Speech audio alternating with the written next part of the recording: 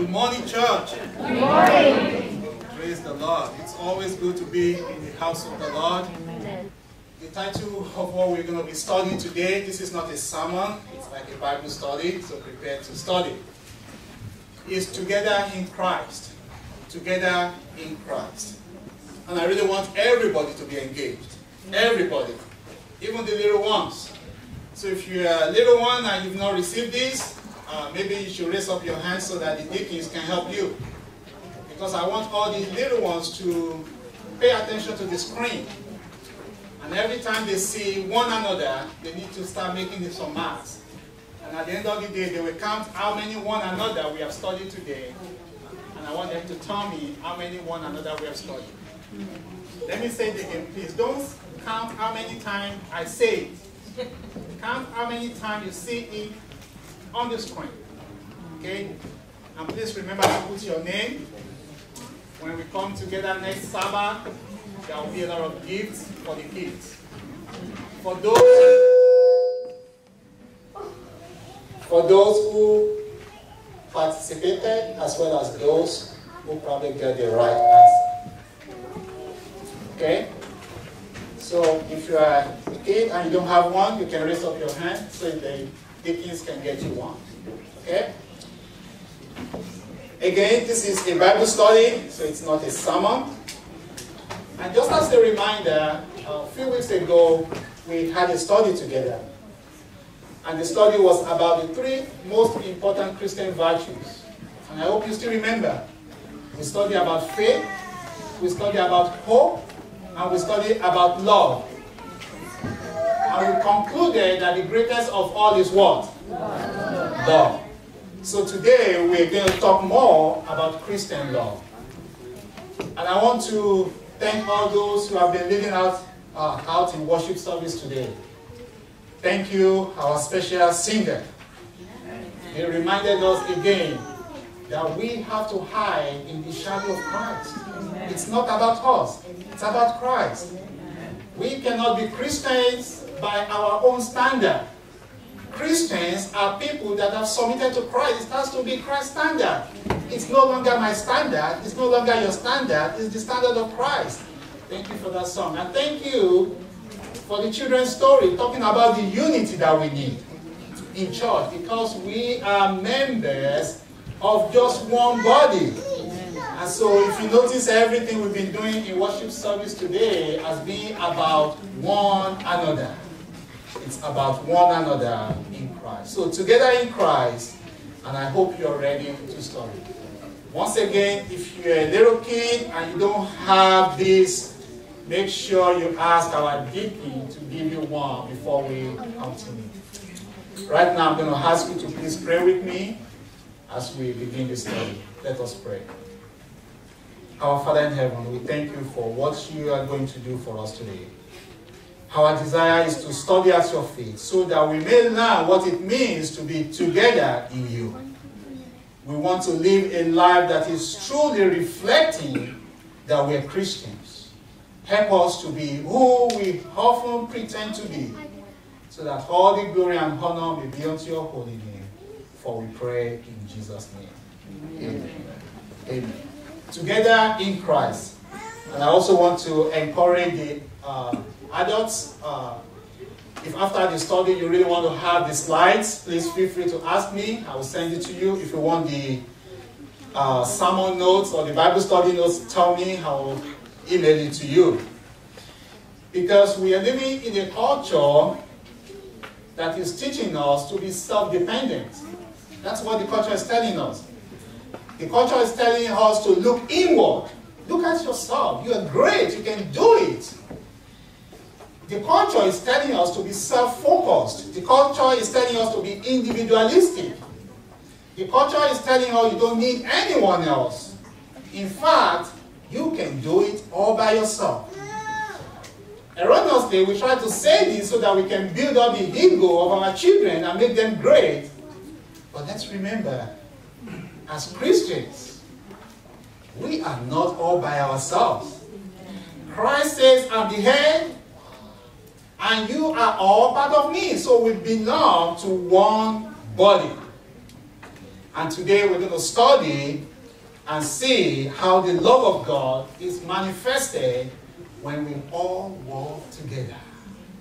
And when we all work together, we can see that God Himself is the master of the team. Now, let's start with this. We're going to start with the word of Jesus. It says in John 13 34, A new command I give you love one another. Kids, that's your first clue. That's your number one. So start counting. As I have loved you, so you must do what? Love one another. And when I read this, the first thing that came to mind is that this is not a suggestion. Does it sound like a suggestion? No. Does it sound like a, you know, I'm going to give you a good advice? No. Jesus is saying it's what? It's a command. So if you're a Christian, you have to take a command from the leader of the team. He's saying, I'm commanding you to do what? To love. Oh, that sounds strange. Jesus is not pleading with us. Jesus is not begging you to love other people. Jesus is not making a deal with you. He's saying, I command you to do what? To love. That's the first point. The second point, Jesus is not saying, you can go out and love the people the way you want. Did you see that in this text? No. Jesus is saying, I want you to love just as I have done what? Loved you. Jesus is saying the example of the love has to be the kind of love, the way of loving that I've expressed to you. So, the way Christians love is not the way they just choose. You know, I'm just going to decide that I'm going to love these people. And that's it. That's not it. Because we also see that Jesus is saying, you must. Did you see that word? Jesus is not saying, you know, I give you a new command, love one another as I have loved you, so you may or you may choose to love one another. Jesus is saying what? You must love one another. This is serious. Because Jesus is saying, if you're going to go around and tell people that you are my disciples, then you have to take this serious. So Jesus is asking us to engage with him in this process of loving people. Actually, this is what we call evangelism. It's, you know, sometimes we miss the point. We think it's the Bible study that we give. We think it's the prayer that we pray with people that's really the core of the center of our witnessing. No, it's the love that's the center of our witnessing. And I hope that as we continue this study, that we will learn more about this concept of one another. One another. So many one another in the Bible. In fact, if we have to study them, we need several weeks to study the one another. Why is it one another? Look around. Look at the brothers and sisters that you have. And this is just in this church. In other places, there are a lot of people that belong to this group of one another. Jesus is saying, you must love one another. Kids, I hope you are still counting. So love one another, there are so many verses. And the first one that follows the one we just read is John 13, 35. We just read John 13, 34. And Jesus was explaining to the disciples, saying, this is the reason why you must one another. He says, by this, get this, by this, how many men? All men. All men we know that you are my disciples. Wow. That is the confirmation of our discipleship. That's the confirmation. If you do what? If you have love for one another. Do you want to have a confirmation that you're a Christian? Love people.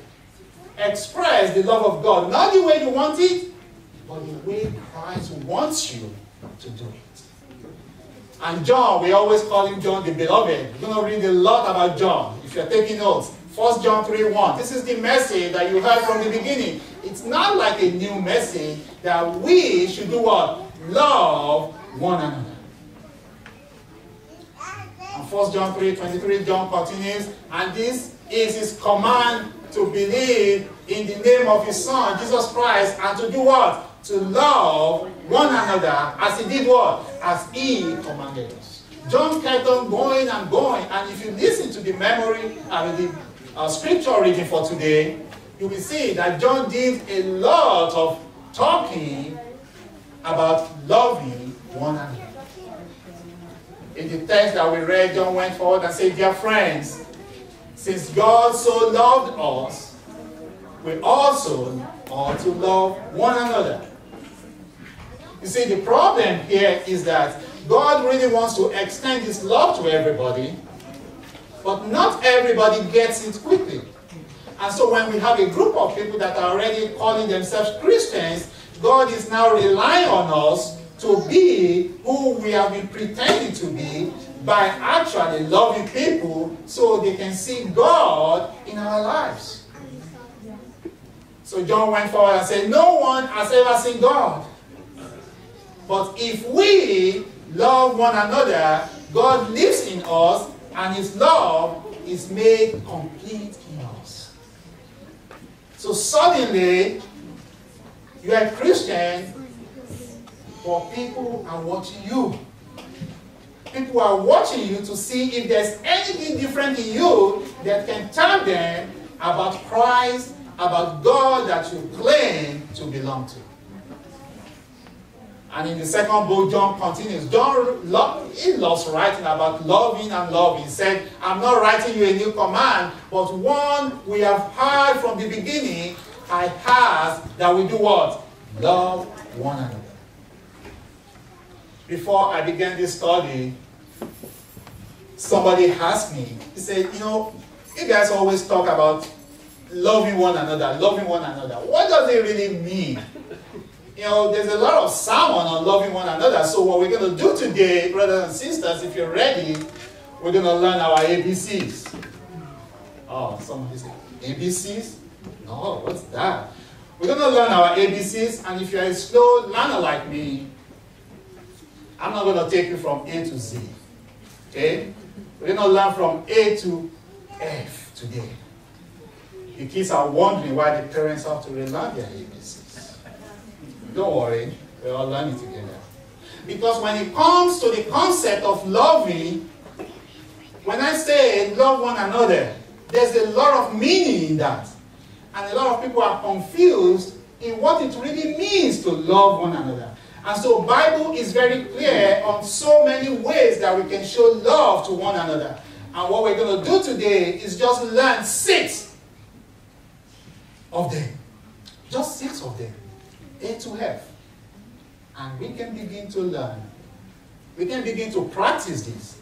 And we can begin to grow together as one body in Christ. Are you ready?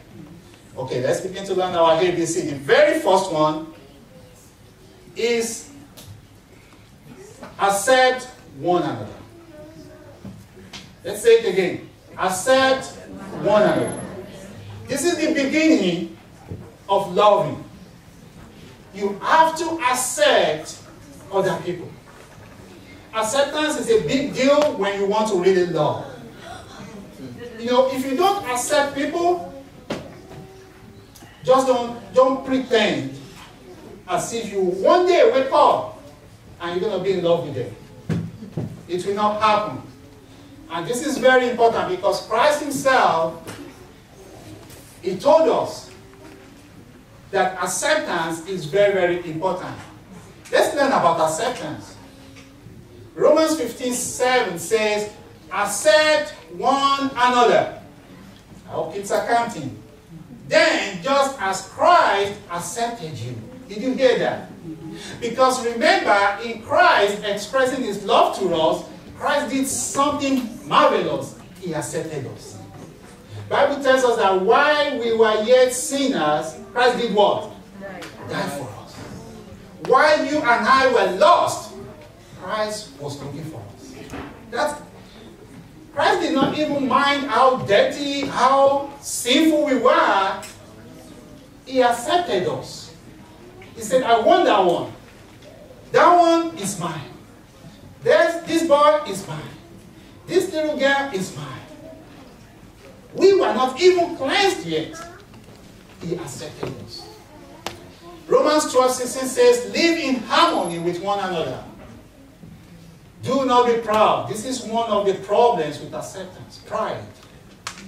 But be willing to do what? Associate with people of low position and do not be conceited. Brothers and sisters, in the house of God, there's nothing like people of low position, people of high position. Because in the house of God, we are all one again. Going back to that oneness. And that's why the first thing we have to defeat is pride. Who told me that I'm more special than you? Who told you that you are more special than other people? Where did we learn that?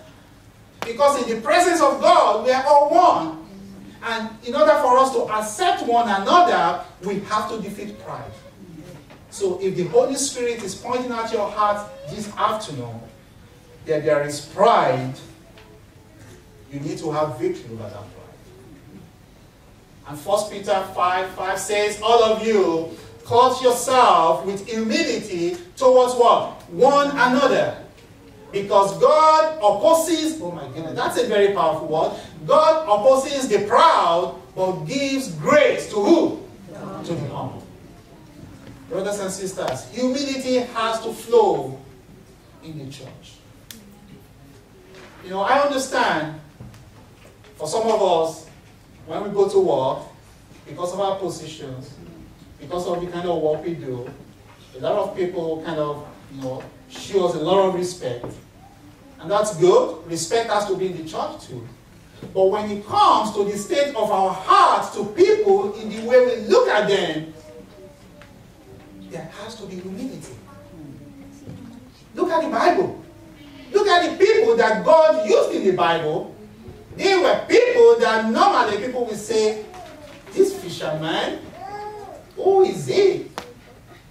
And God used those people to confound even the wise people. So in the church, in order for us to grow in unity, we need to accept one another.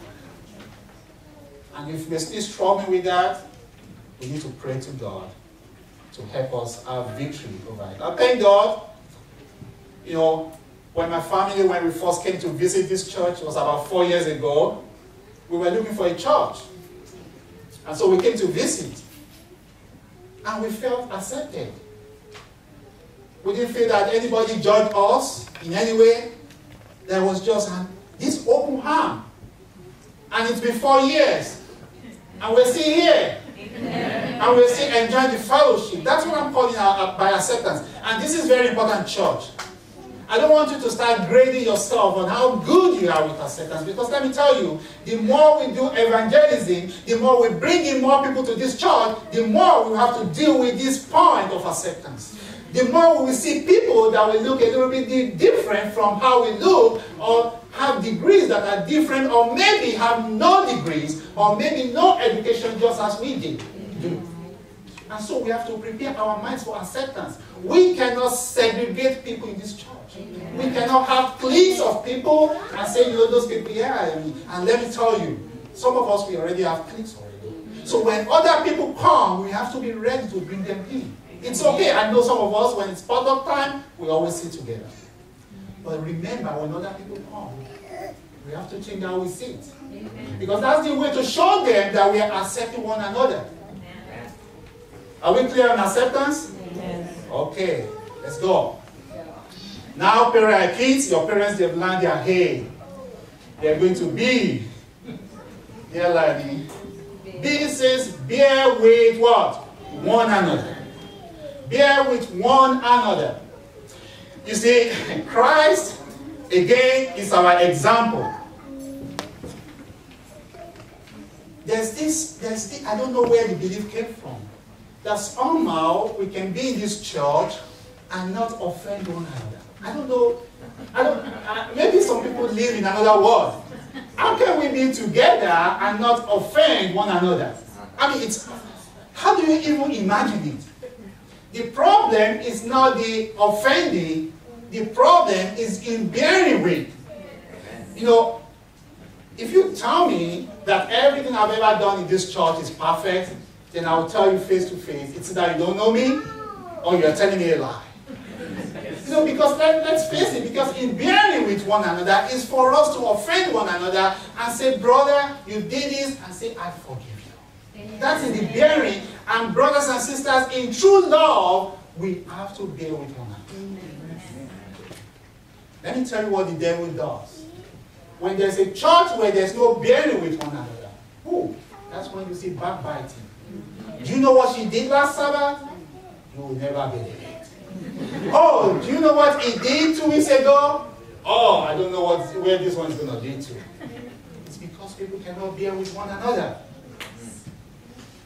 In order for us to be true Christians, we will accept one another and will bear with one another. The disciples, before they received the baptism of the Holy Spirit, they came together and they started confessing to one another. I can imagine Peter telling John and saying, John, you are too quiet. I just can't, I just can't handle you. And John said, you know, Peter, you talk too much. and I said, you know what? It's all for the love of Christ. Amen. It's all for the love of Christ. That's where we need to get to. Let, see, let's not run away from offending. People become so calculated. I don't want to offend anybody. Again, if we're going to be one body, that means we have to move much closer that's comfortable. Then we have to somehow offend one another, but we have to be ready to do what? Bear with one another. Bear with one another, brothers and sisters. Bear with each other and forgive whatever grievances you may have against one another. And forgive not as you wish, but forgive as the Lord himself forgave you. And that's why, you know, the standard is not us. The standard is Christ. So when you are struggling to forgive another brother or another sister, remember Christ. Remember what he did for you, and that will help you. Ephesians 4.32 says, Be kind and compassionate to one another, forgiving. I like that word, forgiving. He puts it in a continuous sense. Because somebody will say, you know what? He has done it again. You won't believe it. He did it again. And he did it again. I'm just done. He says, forgive one another. Even as Christ continues to forgive us. Ephesians 4 2 Be completely humble and gentle and be patient, bearing with one another. Patience is very important. Because again, as you try to bring people together, we really, really have to bear with one another And I thank God for where He's leading this church. But let's remember, the message today is not just for you to look around and say, how are we doing this church? It's to prepare us that as we evangelize, as more people come to this church, as we engage, there will be need for us to bear with one another. Because before you know it, we might start having a situation of saying, where are these people coming from? What's wrong with them? Hmm. Remember, we have to do what? Accept one another, bear with one another. Now we've gone through B. Are you ready for C? Okay. We have to do what? Care for one another. You know, a caring church, somebody has, this is a question we struggle with, and I just want us to tell ourselves the truth. Somebody say, why is it that you know you present the truth about the Sabbath to some of these people and they still say, you know what, I just can't leave my church. And you want, you know why? It's because of the care.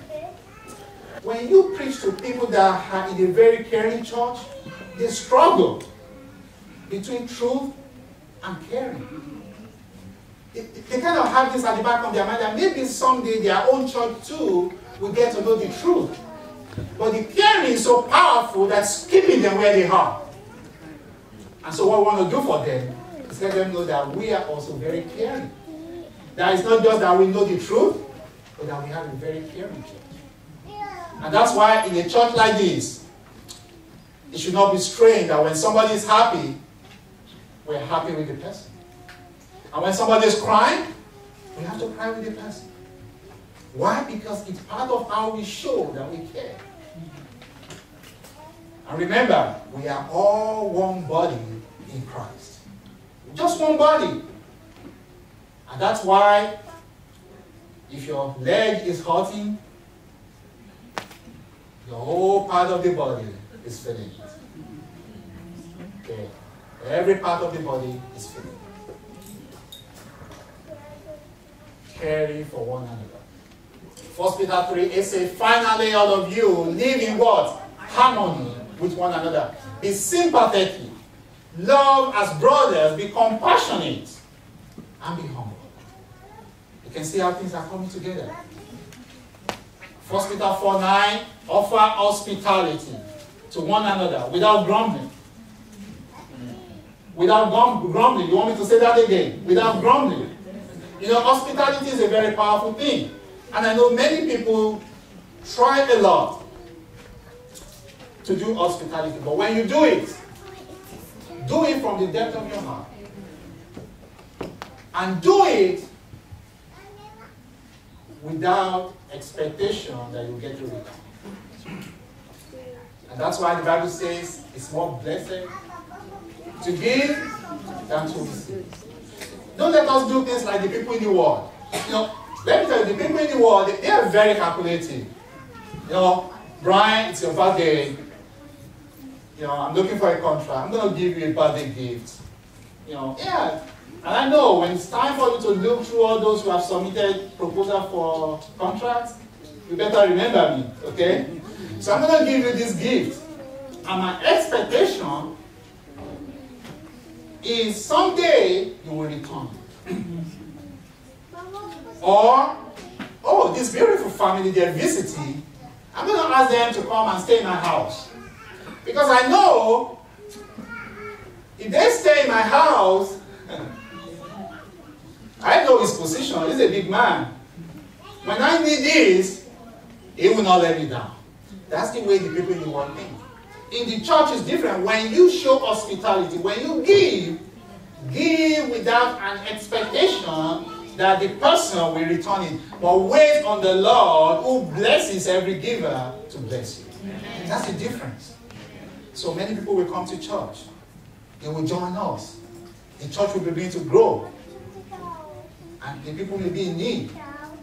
And you are struggling between if I give or if I share, what am I going to get in return? Remember this. Loving is about caring.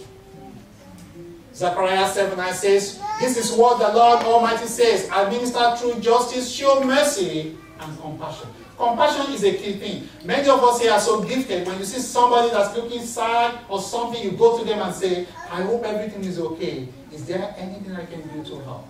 And even if you don't have the means, the fact that you are listening to them, a lot of people feel blessed already that you care so much. Brothers and sisters, we should not be people that rush so fast. We finish the worship service, we go in there to eat, and you can't even listen to anybody's story when they are ready to share their story with you. When was the last time? Let me ask you. When was the last time somebody told you Esau's story and they say, why don't we stop right now and just pray about it? When was the last time? We need to care and really show that we care. So we've gone through accept, bear with, care for, and we're going to go to the next one, which is kind of very interesting in church, which is to dignify. To dignify means to honor. You know, it's to look at somebody and say, you know, you, you, you, are, you are special. You're just special. And the person say, uh, are you talking to me? because they don't expect it. And I want us to learn it from Christ. I want us to learn the way Christ has dignified us. Bible tells us that even all our righteousness, they're like what? I mean, who is proud of wearing filthy rags all around? But Christ, in his love, has decided to dignify us by giving us his own robe of what? Righteousness. We have not worked for it. Christ decided to dignify us. Let's read some verses. Romans 12 10 says, Be devoted to one another in what? Brotherly love. Dignify one another above yourselves. It's amazing. Because first Peter 2 9, I mean, I don't understand this. Why would God do this to us? He said, But you are a chosen people. Me, a royal priesthood. I know I'm not holy, but it's calling me a holy nation. A part of this holy nation. Eh, is there a mistake here? no. It's because of what he has tried to make out of us. And he said, You are God's special possession.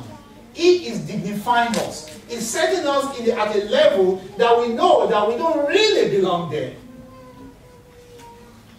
That's what he calls us anyway. We are like prodigal sons. And he said, You are my child. It dignifies us. So we, when we look at each other, let's begin to learn how to dignify each other. You know, it's a kind of honor. You, when you talk to people, you show that you, you appreciate them and you dignify them, you put them in a place of honor. Not that you're trying to just build them up and make them feel like they're the best in the whole world. But you talk to them in a way to know that there's something in them that Christ really, really appreciates. And that's why in church, we don't say one spiritual gift is a small gift. There are so many people in this church, they are silent ministers. Some of us are, you know, gifted to come to the front to preach. But it doesn't mean that my gift is more important than the gift of somebody who is able to give a beautiful smile on Sabbath morning to people and encourage them. And so we have to dignify those people. We have to, we have to honor them. We have to acknowledge their spiritual gifts. It's amazing after worship service when you see all these little ones putting together the hymnals. It touches my heart because they are doing a big service that's probably much more bigger than what some of us, the elders, that we do up front brothers and sisters, let's dignify, let's honor one another. A, you should not get wrong, is to encourage one another. You see, let me put it this way. If you don't encourage people in the church, or if you don't get encouragement in the church, why do you think you will get it outside the church? I mean, maybe your workplace is different from mine, but at my workplace, people are always whining telling all the stories of things that are not working, and how the whole system is broken, and how everything is going the wrong way. Is that the way to get encouraged? I mean, if you if I don't get encouragement in the church, within my church family, where am I going to get the encouragement? At work? Oh, no, thank you. Because it's not there. Our co-workers, most of them are out there to tell us how bad things are and how hopeless the whole world is. Right. So when we come here, don't let us bring more whining. Let's encourage one another. Amen.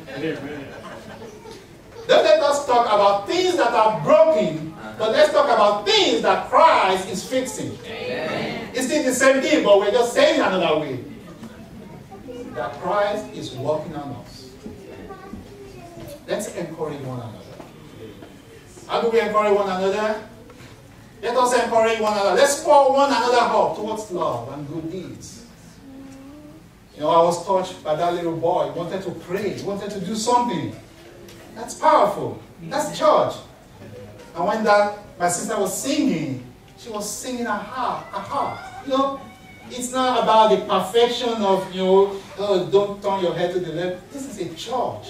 You understand? We, we blend, we do things, we encourage one another. First Thessalonians 5 11 says, Therefore, encourage one another and build each other up. Amen. Wow, that's a big one. Because we want people to grow in church, in the knowledge of Christ. Hebrews 3 13 says, But encourage one another daily as long as it is called what? Today, there must be encouragement. It's a daily dosage. Okay? And that's why I'm going to challenge this church. I know we try for most of us, it's Sabbath after Sabbath, but there's nothing wrong during the way to say, How are you doing? Let's begin to work on that. Encourage one another. Very powerful. Encourage one another. Now we're going to go to the head. Fellowship with one another. We're almost done. Fellowship with one another. You know, if I say this and some of you feel offended, please forgive me. I already preached that one. It's bearing with. So I hope I'm covered. Sabbath school does not start at 10.30. Sabbath school does not start at 10. If we really want to enjoy fellowship with one another, Sabbath school starts at 9. And that's when we can study together. I know some of us, we have some challenges, but let's begin to work on it. Set a goal. Today, I came to church, 10.45. Next Sabbath, I pray by the grace of God, I'm going to come at 10.30. Wow! Big difference. And after two Sabbaths, I said, Lord, I want to make 10.15. And then try it. And one day, you're going to be here at 9.30. I said, Lord, what did you just do in my life? I'm, I'm getting here at 9.30. Because fellowshipping is very important. I know we, you know, Metro, I mean, we're great. Okay? Potluck time, too. We're there. Fellowship, we do a lot of great things. But the one I'm talking about here is when we have to come together to sing, to pray, to study. It's very important that we fellowship together. Speak to one another with psalms, with hymns. That's when we sing. We're encouraging one another with the singing. It's not just open to hymn this and we sing and it's done. No, we're encouraging one another as we sing. And Hebrews 10 25 says, Let us not do what? Give up meeting together as some are in the habit of doing.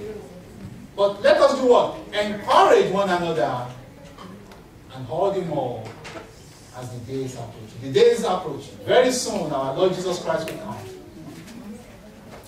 Brothers and sisters, we need to continue in fellowship. We're encouraging people to come for midweek prayer. We're encouraging people to come for Vesper services. We need to spend more time fellowshipping together. And the good news about fellowshipping together is that let's remember that someday we will not have the privilege of fellowshipping together physically. Someday, when the time of trouble comes, we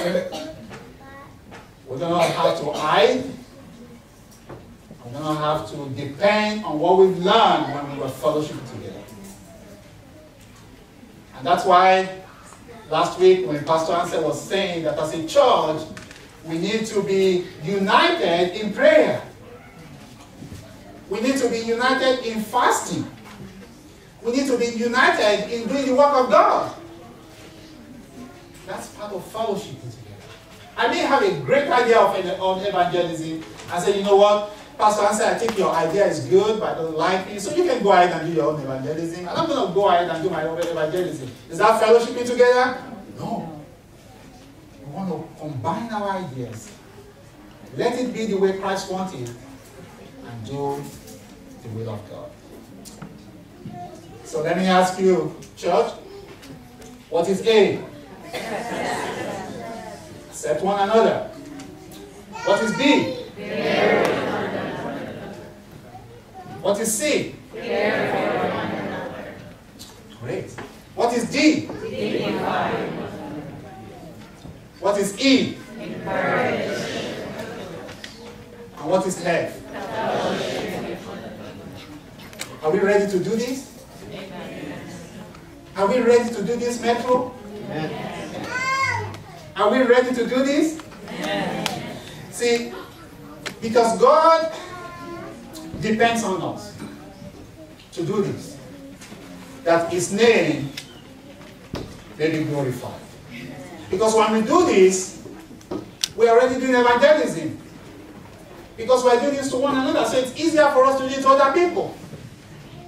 And let me repeat it again. This message is not to come to Metro and say that you don't love one another. So if there's anybody in this congregation that's thinking, is Ali trying to tell us that we don't love one another? That's not the message. The message is that we are not perfect in that love yet.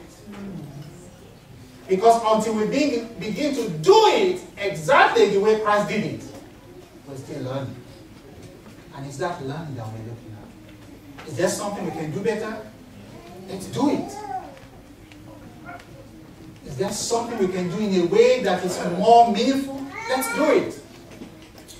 And I pray that as we do this, that God Himself will bless us. One of the one of the challenges that we have as a church, let me say, is that when you listen to a sermon like this, you go home, you may forget. So I want us to have some accountability. So kids, when you get home, ask your parents what they learned. Okay? And if they don't want to tell you, tell them, but brother Ali asked us to ask you. Okay? And grown ups, please, when you get home, if you have kids, ask your kids. What did they learn about the message today? Brothers, sisters, ask yourself. Cousins, ask your uncle. Uncle, what did you learn from the message today? Because the more we talk about it, the more we decide what we're going to do about it. That's what makes it very practical. And as we begin to close, I want to share with us what Ellen White said. This is very important. She wrote this. She said, Many of those who profess to love the Savior neglect to love those who are united with them in Christian fellowship. We are of the same faith.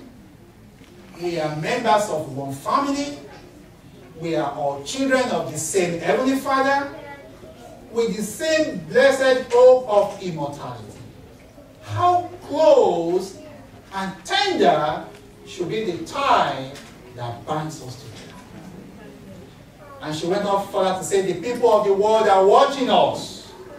We are right there, they're watching us, they are looking at us, they are wondering, they are watching us to see if our faith is exerting a sanctifying influence upon our hearts. This is evangelism.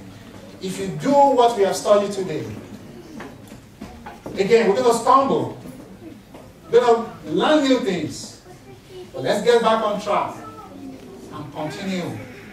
Accepting one another. Bearing with one another. Caring for one another. Dignifying one another. Encouraging one another. And fellowshipping with one another. Jenny, I'm going to pick on you again. Because this man John. John was born in England in 1739. He was orphaned at the age of 12. So his whole hope of being educated was just like over. So John decided to go and learn how to be a tailor. and he did. But after that, he decided he still wanted to get educated. So he self-educated himself because there was no money. At the age of 16, John gave his life to Christ and later became an ordained pastor in the Baptist church. It was a very small church. And so, seven years later, he got an offer from a very big church. Wow, answered prayer. And John was going to move to this big church. But then he realized the bond that he already had with the people in his church. John said, ah, why should I leave this church because of more money? Or because of more fame? I'd rather stay in this small church. They don't have a lot of money, but there's the love of Christ. And so John wrote this beautiful song. SDH 350, blessed be the tie that binds our hearts together our hearts in what? In Christian love. The fellowship of kindred minds is like to that above. Because John realized that we are all one in Christ. and we can be bound together by that tie, which is the love of Christ. If that's what you want to experience, let's stand together. Let's open our hymn book to hymn number 350. And we will sing all the strength we are.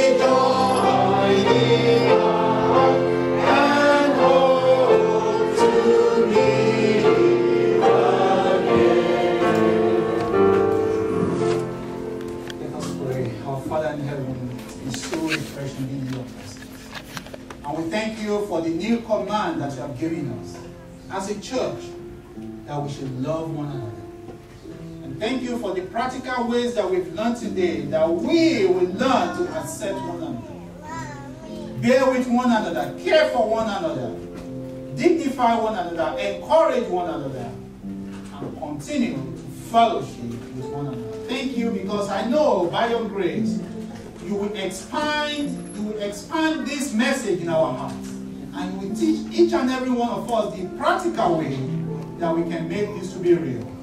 Let us continue to enjoy the fellowship with you, for you are such a wonderful God. Thank you for what you've done for us today. And may your name be ever glorified, for we are prayed in Jesus' name.